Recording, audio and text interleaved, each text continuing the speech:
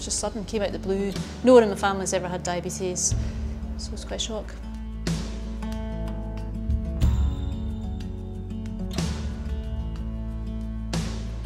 I was having loads of problems with hypos.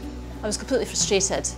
I saw a specialist nurse and she put me on a two-week trial for the Libre, which I'd never heard of at that point, and so that she could see, you know, what my blood sugar was doing, and I thought it was absolutely fantastic.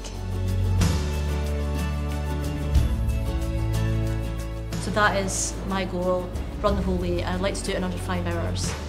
I just really enjoyed the experience of training for the marathon, and even however it goes tomorrow, I've done more than I thought I could.